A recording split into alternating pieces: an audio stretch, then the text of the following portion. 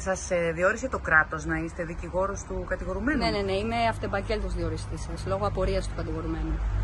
Ε, πότε αναλάβατε την υπόθεση, ε, πριν ένα χρόνο περίπου, αλλά ματαιώθηκε νομίζω λόγω του ότι ήταν η αργία της ε, Πρωτομαγιάς και ανεβλήθη για σήμερα.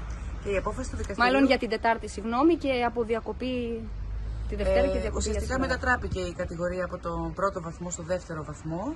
Ε, στον πρώτο βαθμό, να πούμε ότι είχε τιμωρηθεί από το Μικτό Ορκωτό Δικαστήριο Χίου ε, σε συνολική ποινή 8 ετών ε, για το αδίκημα του βιασμού και της αποπλάνησης ανηλίκου κάτω των 12 ετών. Ε, κατόπιν ασκήσεως έφεσης από πλευράς του κατηγορουμένου, η υπόθεση ήρθε ενώπιον του μεικτού όρκου του εφετείου ε, και με βάση την απόφαση του δικαστηρίου έχει αθωωθεί για το αδίκημα του βιασμού και όσον αφορά ε, το αδίκημα της αποπλάνησης ε, κατόπιν ε, αιτήματος επικουρικού βέβαια διότι από το κατηγορούμε να πούμε ότι υπάρχει άρνηση εξ αρχής μέχρι και σήμερα οποιασδήποτε ε, κατηγορίας διάπραξης οποιοδήποτε αδικήματος σε βάρος της ανήλικης.